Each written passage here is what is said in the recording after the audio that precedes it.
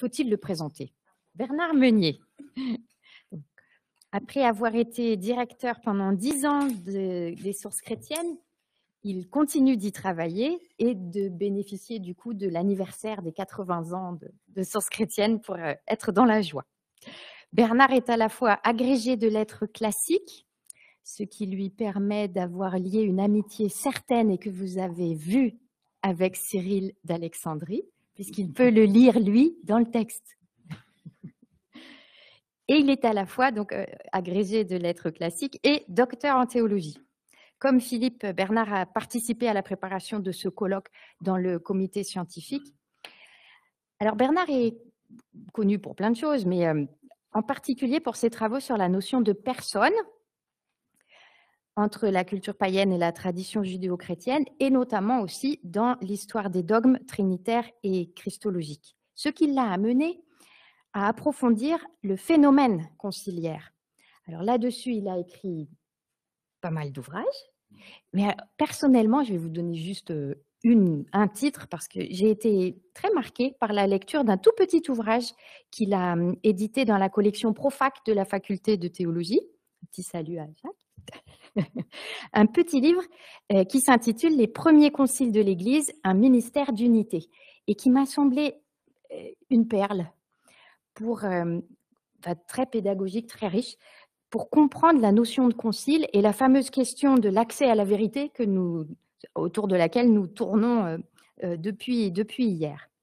Cet angle de vue introduit très bien sa communication puisqu'il va nous parler maintenant de conscience conciliaire et acte des conciles.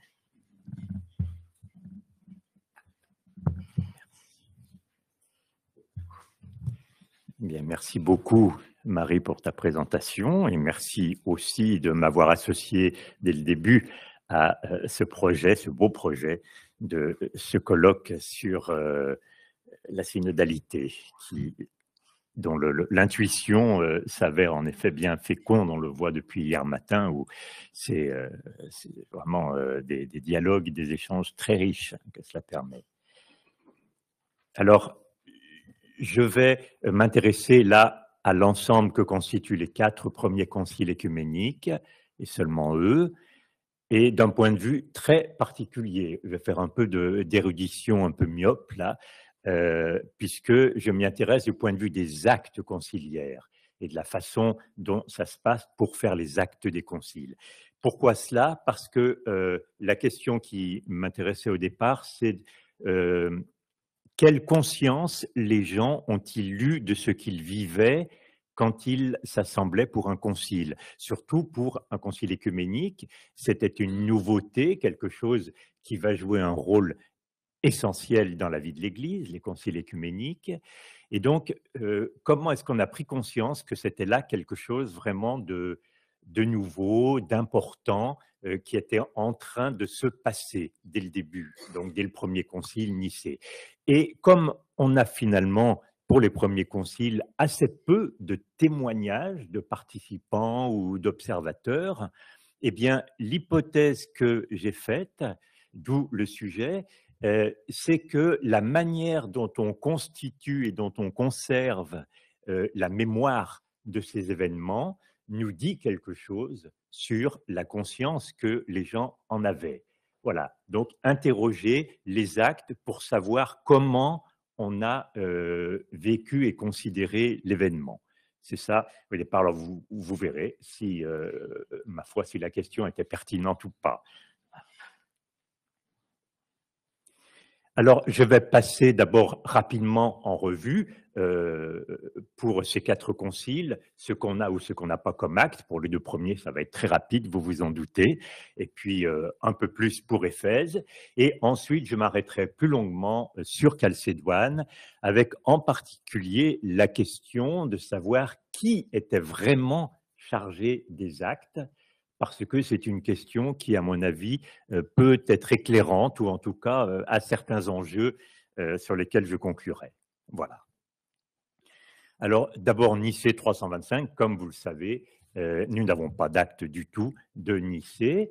Nous n'avons un, écho des décisions du Concile que par quatre documents qui sont quatre lettres, une écrite par le Concile lui-même et trois par Constantin des lettres qui nous sont transmises, euh, qui n'ont pas fait l'objet d'une édition à part, hein, euh, mais qui nous sont transmises euh, soit par le De Decretis d'Athanase, soit par l'histoire ecclésiastique de Socrate.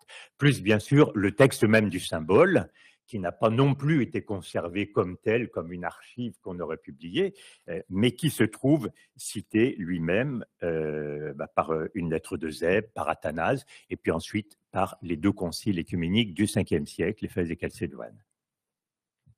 Alors, pourquoi est-ce qu'on n'a pas d'acte de Nicée? Les historiens ont débattu. il y en a qui pensent qu'il n'y a jamais eu d'acte de Nicée. Donc, ça irait dans le sens de c'était nouveau, on ne se rendait pas encore compte de l'importance qu'avait l'événement et du coup, on n'a pas eu la présence d'esprit d'en garder euh, une trace officielle, euh, authentifiée, etc. Voilà. Et puis, d'autres qui pensent qu'il y en a eu, mais qu'on les a perdus. Euh, je pense qu'il n'y a pas lieu de débattre indéfiniment, puisque Eusèbe qui était euh, participant au concile, nous dit dans la vie de Constantin, il dit ceci, les décisions prises en commun étaient consignées dans un document écrit et authentifié par la souscription de chacun si ce n'est pas des actes, je voudrais savoir ce que c'est.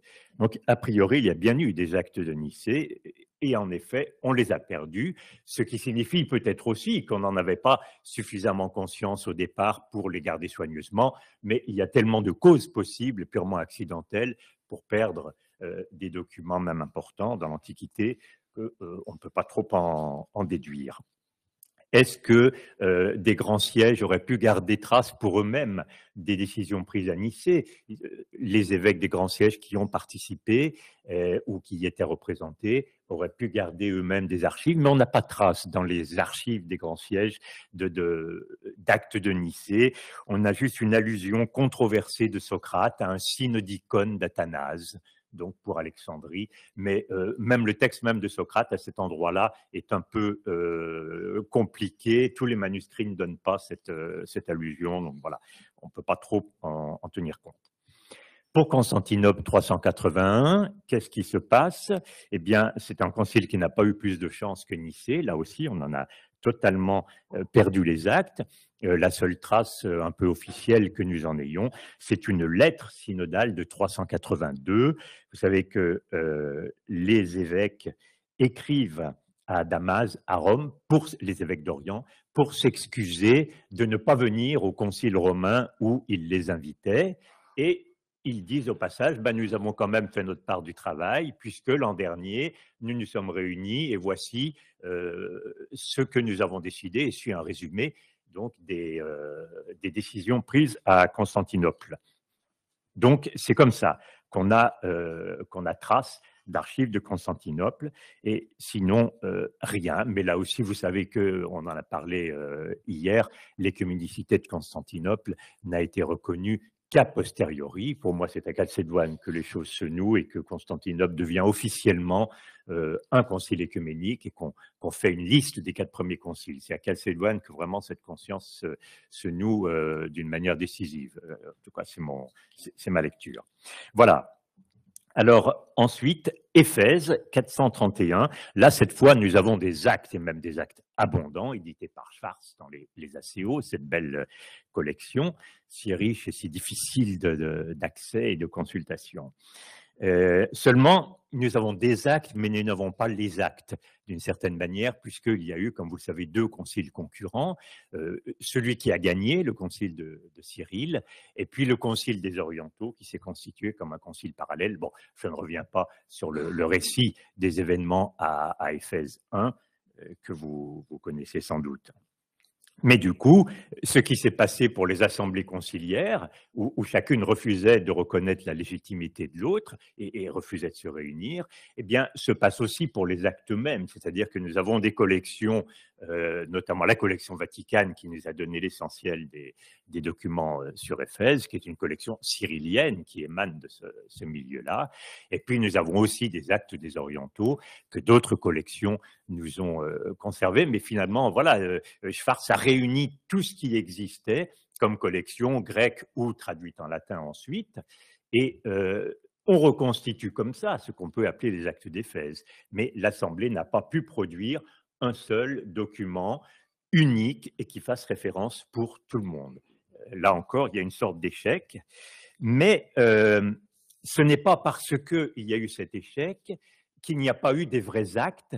Je veux dire par là que toute la procédure était bien en place, qu'elle était consciente, qu'elle a été organisée. On a un certain nombre dans les actes d'Éphèse, donc tels qu'ils sont traduits par Festuvière, comme vous le savez, chez, chez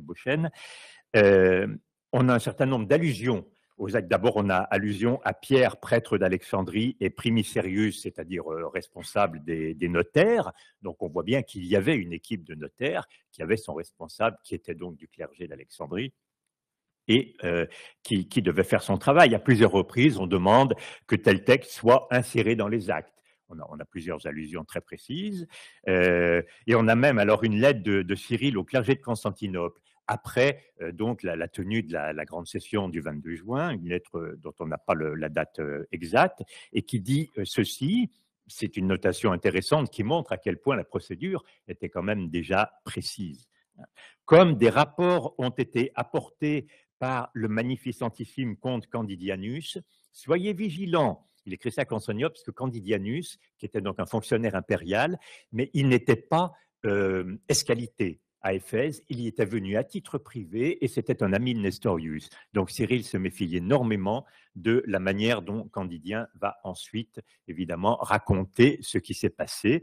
Peut-être avait-il conscience qu'il avait pu y avoir des choses critiquables, mais je n'irai pas aussi loin que Philippe dans son parallèle avec le brigandage. Donc, voici ce que dit Cyril. Comme des rapports ont été apportés par le magnificentissime comte Candidianus, soyez vigilants indiquant que les minutes des actes relatifs à la déposition de Nestorius n'ont pas encore été insérées dans les archives. Et c'est pour cette raison que nous n'avons pas pu non plus envoyer le rapport qui devait être envoyé à nos pieux et victorieux empereurs. Avec l'aide de Dieu, le rapport arrivera à Constantinople avec les minutes s'il nous est donné d'envoyer quelqu'un qui puisse les porter. Donc, vous voyez des termes extrêmement précis qui visent des réalités, toute évidence, très précises. Donc, à Éphèse, tout était là pour qu'on puisse euh, avoir des actes. Et finalement, ce qui a manqué à Éphèse, ce n'est pas la procédure, c'est la réception. C'est ça qui a empêché qu'on ait euh, des actes uniques euh, faisant référence il y a des allusions aux souscriptions des évêques, hein, un exemplaire muni des signatures, etc. Donc vraiment, là, on avait une, procédure déjà bien rodée et dont ce n'était probablement pas la première application. Hein. Pour qu'elle soit rodée à ce point, on peut se dire que à ce moment-là, la conscience de l'importance de ces assemblées et de l'importance d'en garder une trace incontestable était déjà bien présente dans les esprits. Alors nous arrivons à Chalcédoine, qui va être là aussi un moment clé, bien sûr, compliqué, mais essentiel. En fait, la, question des actes va devenir en effet essentielle à Chalcédoine, puisque, bien comme Philippe vient de le rappeler, on va faire la relecture et le procès de ce qui s'est passé avant. Et la première session de Chalcédoine, le 6 octobre 451, est consacrée à la révision d'Éphèse pour, euh, pour l'annuler, hein, d'une certaine manière, d'Éphèse bis, pardon, hein, d'Éphèse 449, et aussi, à travers la révision d'Éphèse, les deux réunions du Synodos Endemoussa de Constantinople en 448 et 449. Donc, c'est ce qui rend d'ailleurs la lecture de la première session euh, particulièrement difficile, mais Festuvière, le traducteur, nous, aide quand même à la lecture parce qu'à chaque fois, il met entre parenthèses de quelle assemblée il s'agit. Parce que on, revient sur les actes d'Éphèse. Dans les actes d'Éphèse 449, euh, on a lu euh, des morceaux des actes des deux synodos, euh, et des Moussaï. Donc, euh, à chaque fois, il y a une imbrication, en effet, c'est ce que Philippe disait tout à l'heure. Donc, c'est compliqué, mais on arrive au bout d'un moment quand même à, à s'y retrouver, à comprendre à peu près de quoi il s'agit. Mais c'est dire que les actes sont essentiels puisque c'est là-dessus qu'on s'appuie pour émettre un jugement sur les assemblées précédentes. Et précisément, là, les notaires vont se retrouver au premier plan. Et ça, de toute évidence, ils n'en ont pas l'habitude et ils n'aiment pas ça du tout. Et parce que euh, déjà, en 449, Eutychès se plaint de ce que euh, les actes euh, du Synodos Moussa, qu'il avait condamné, n'étaient pas fidèles à ce qui s'était réellement passé. Donc là, il va falloir faire comparaître les notaires, leur demander de rendre des comptes sur leur travail et on évoque la possibilité que euh, ben, y ait pu y avoir, euh, même euh, l'exemplaire officiel ait pu être falsifié. L'archevêque Flavien, au synodose de 449, dit au notaire jurez l'authenticité ou si les actes ont été falsifiés, dites le nom du faussaire. Vous voyez quand même une accusation frontale et, bon, les notaires, peu, habitués à ce genre de, contestation de leur travail, doivent donc eux-mêmes prendre la parole, alors que d'habitude, ce sont des spectateurs muets qui restent dans l'ombre. Et ils doivent se défendre. Et, on voit dans les actes là, de cette première session de Cassédoine qu'ils comparaissent avec énormément de, méfiance. Ils prennent moult précautions en disant Mais pourquoi on nous demande ça? On a fait notre travail, on n'a pas. Voilà. On, sent que, que c'est extrêmement un moment extrêmement difficile pour eux. Et on constate aussi que, encore plus qu'à Éphèse, où c'était déjà le cas, euh, eh bien, les évêques, au moins ceux des grands sièges, viennent avec leurs propres notaires. Non pas euh, pour avoir des équipes concurrentes, c'est pas ça, mais probablement parce qu'ils désiraient avoir en permanence à leur disposition, sans attendre que les actes officiels soient composés, édités, copiés et diffusés, ce qui pouvait tout ça représenter des délais assez longs de, plusieurs jours pour la, rédaction elle-même, puis ensuite des semaines et des mois pour la diffusion. encore plus, il fallait traduire. C'est une des raisons d'ailleurs pour lesquelles Flavien, pardon, Léon a, mis du temps à ratifier euh, officiellement euh, les actes de Calcédoine, c'est parce qu'ils n'en disposaient toujours pas d'une version latine. Alors bien sûr, il y a l'affaire du 28e canon hum, qui explique beaucoup sa prudence et ses réticences, mais euh, c'était aussi tout simplement parce qu'ils n'avaient pas pu relire une édition latine des actes pour être sûr de, leur teneur. Donc voilà. Mais on sait que déjà au brigandage, il y avait plusieurs, plusieurs notaires, enfin que les évêques avaient leurs notaires, puisqu'on se plaint, c'est aussi un des passages, qu'il euh, y a eu des, des rixes entre les notaires qui reflétaient les, les rixes et les oppositions entre les évêques. On se plaint que Dioscore a voulu virer tous les notaires des autres pour les remplacer par les siens, pour qu'il n'y ait qu'une seule trace officielle de ce qui se passait, hein, et que précisément on ne puisse pas produire des notes euh, personnelles que les notaires d'autres évêques avaient prises pour pouvoir dire mais non, il manque ça, on n'a pas mentionné ça ou on a déformé ça. Vous voyez, c'était donc important pour les évêques d'avoir leur propre notaire parce que parfois on, faisait état des copies privées dont les évêques disposaient pour pouvoir euh, contester telle chose ou préciser telle autre. Et il est probable qu'ensuite, justement, on composait les actes officiels euh, c'était pas simplement les notes prises en séance, mais on faisait une sorte de collation, puisqu'il y avait des, plusieurs équipes euh, de tout ce qui, de, des notes des uns et des autres, et on en faisait une édition officielle. Et probablement, dans euh, ce moment-là, les grands sièges étaient représentés, c'est-à-dire qu'ils envoyaient leurs notaires pour vérifier ce qui se passait et vérifier qu'on n'oubliait pas des choses. voilà. Donc, à ce moment-là, de toute évidence, à, Calcédoine, on a, on a une très vive conscience des enjeux euh, pour prendre autant de précautions, mais justement parce que l'affaire de, la révision et de la relecture des assemblées précédentes de 448 et 449 euh, avait mis vraiment euh, les actes sur la sellette. alors, la question plus particulière que je voudrais poser maintenant, c'est qui vraiment était chargé des actes? Finalement, on ne sait pas bien. Alors, à Calcédoine, il y a un personnage qui s'appelle Aetios, qui est le responsable primicier, donc primicerius, de, l'équipe des notaires impériaux. Et lui n'est pas un fonctionnaire impérial, il est archidiacre de Constantinople. Et responsable des notaires. C'est sous ce titre euh, qu'il est cité à maintes reprises dans les actes de Calcédoine. Et de fait, on voit qu'il joue un rôle très important, pas seulement pour la prise de notes, mais euh, pendant les séances, pour faire lire des choses, voire même influer sur l'ordre du jour et le déroulement des séances. Il a, vraiment un rôle euh, de premier plan. Alors pourquoi, pourquoi lui-même avait un rôle? Est-ce que c'était en tant que primicier de notaire ou en tant qu'archidiacre? De la ville impériale de Constantinople. Euh, c'est difficile à dire. Pourtant, Anatole lui-même, l'archevêque de Constantinople, n'était pas du tout le, président euh, du concile. Mais bien sûr, il y jouait un rôle important et précisément dans ces moments-là, euh, le siège de Constantinople va gagner beaucoup en importance, comme les, travaux de, de Philippe Blodeau l'ont montré à plusieurs reprises. Anatole joue une partition très très complexe et très habile, comme Philippe y faisait allusion tout à l'heure. Mais enfin, euh, qui a la responsabilité des actes? Ça ne me semble pas lié à la présidence du Concile, puisque Aetios euh, semble être le responsable de l'équipe qui va produire ces actes.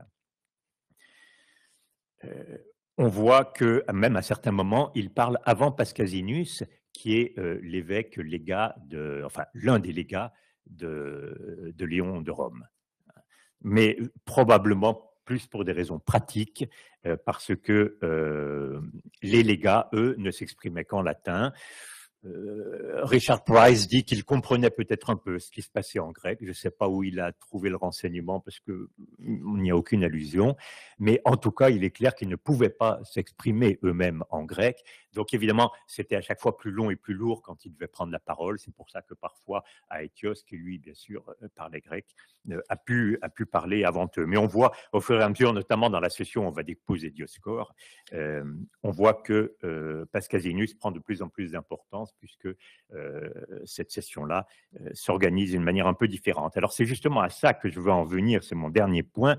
C'est que pour savoir qui vraiment était chargé de publier les actes, nous avons peut-être un indice qu'on peut tirer d'une anomalie qui se trouve dans les actes de Calcédoine, et une anomalie qui est bien connue, mais sur laquelle, à mon avis, on ne s'est pas assez posé de questions, alors qu'on devrait le faire tous les historiens qui racontent euh, euh, Calcédoine disent attention, il y a une inversion dans les actes entre la session 2 et la session 3. C'est une chose bien connue.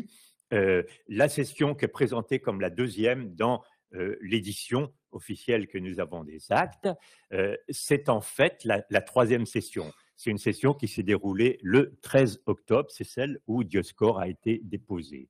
Et ensuite, dans les actes, on a comme troisième session celle qui était en réalité la deuxième, euh, celle du 10 octobre, euh, qui était sur la foi, où on avait commencé à discuter sur la foi, à, relire le credo de Nicée, le credo de Constantinople et le tome à Flavien, enfin lu en séance euh, pour consoler le, cher Léon. Et donc, alors on dit, ben voilà, il y a eu une inversion, mais enfin, quand on voit justement, et comme on a pu le constater à l'instant, le soin avec lequel on, rédigeait, on contrôlait, on vérifiait chaque détail des actes, que deux sessions aient pu être totalement inversées dans l'édition officielle, comme ça, euh, ça paraît bizarre. Alors, ce qui est habituellement euh, invoqué comme prétexte, Schwartz l'avait dit, et puis euh, Price, qui est donc le, traducteur hein, anglais des, actes de Calcédoine, l'a également dit, c'est que c'était pour que les sessions soient regroupées thématiquement. Parce que la session 1, c'est le retour sur tout ce qui s'est passé en 448-449. On va annuler des décisions, euh, réhabiliter les uns, déposer les autres, etc. La session 2, dans l'ordre réel, hein, chronologique, on commence à discuter sur la foi, à préparer ce qui pourrait être une définition de foi du, Concile. Et puis, la session 3, on va déposer Dioscore, et on, donc, on revient sur des questions de discipline, on revient sur ce qui s'est passé au brigandage, etc. Et puis la session 4, de nouveau sur la foi, qui va préparer à la 5, où euh, aura, aura lieu la, rédaction de la, formule, hein, l'oros euh, dogmatique de Calcédoine. Donc, euh, ça donne une espèce d'imbrication, et il était en effet plus satisfaisant pour l'esprit et pour, pour avoir des archives finalement bien classées, en bon ordre, d'avoir l'ordre 1-3, tous les problèmes disciplinaires où on relit les assemblées précédentes, etc. On prend les mesures qu'il faut prendre. Et puis 2, 4, 5, 6 et suivantes. ça semble en effet. Mais bon, euh, si c'est pour euh, que les gens archivent euh, pour eux-mêmes la mémoire de Calcédoine dans les grands sièges, chez les évêques, les théologiens, etc., ça peut se comprendre. Comme ça, ils ont, ils ont des ensembles thématiques bien. Mais dans l'édition officielle, qu'on se permette d'inverser deux séances, alors que dans certaines séances, on fait allusion aux précédences. Enfin, il y a, des enjeux pour comprendre, pour l'intelligibilité de ce qu'on lit.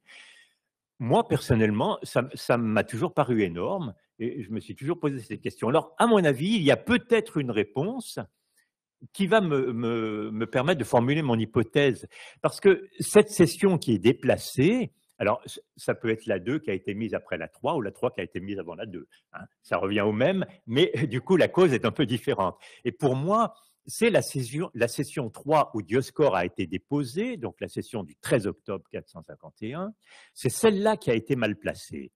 Or, ça n'est pas du tout anodin par rapport au problème de la rédaction des actes et de la responsabilité de l'édition officielle des actes. Parce que précisément, cette session où Dioscore a été déposé, qu'est-ce qui s'est passé? Eh bien, les commissaires impériaux n'étaient pas là. Ils n'ont pas voulu être mêlés pour des raisons diplomatiques, politiques euh, diverses, et aussi aussi de respect des affaires internes de l'Église, comme Constantin lui-même les respectait à Nicée en disant les questions de foi, vous les discutez entre évêques, je m'en mêle pas. Et là, ça a été un peu ça. C'est une affaire qui vous concerne entre évêques, et les commissaires impériaux n'ont rien voulu savoir de la session qui a déposé Dioscore. Ils n'étaient pas là. S'ils n'étaient pas là, on peut penser que leurs équipes de notaires n'étaient pas là non plus. Et que c'est donc uniquement des notaires ecclésiastiques, puisqu'il y avait les deux, Hein, notaires impériaux et notaires ecclésiastiques qui, collaboraient ensemble, on peut penser que c'est uniquement les notaires ecclésiastiques qui ont pris les notes de la, session où Dioscore a été déposé.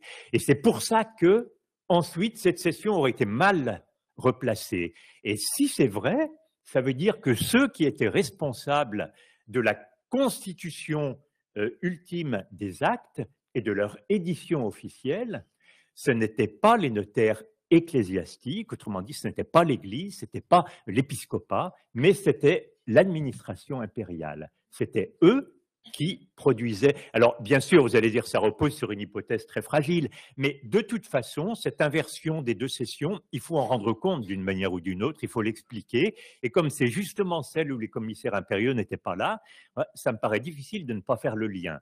Et je crois pouvoir avancer l'hypothèse que à Chalcédoine en tout cas, et peut-être euh, déjà à Éphèse, mais là, euh, la chose n'est pas précisée dans nos sources. Et ensuite, je n'ai pas poussé l'enquête ensuite pour Constantinople 2 et 3. Il, faudra le faire, je ne vais pas aller plus loin. Et à Chalcédoine, au moment où, la mémoire des quatre premiers conciles s'invente, se constitue pour la première fois, où où on fait cette liste des quatre conciles, Nicée, Constantinople, Éphèse et Chalcédoine, qui sont bien reconnus comme un tout cohérent et euh, distingués de toutes les autres assemblées euh, synodales, eh bien, à ce moment-là, c'est le pouvoir civil, c'est l'Empire romain qui constitue, établit et qui va divulguer ensuite, enfin diffuser, la mémoire de l'Assemblée conciliaire. Euh, et ça, ça ne me paraît pas bien sans importance. Euh, nous sommes à un moment où l'Empire veut des, recueils ayant force de loi, faisant jurisprudence. On parlait de tous ces codex euh, tout à l'heure. Hein. Et, précisément, euh, le Code théodosien va être publié officiellement en 438. Donc on est tout à fait dans la même période qu'à Chalcédoine.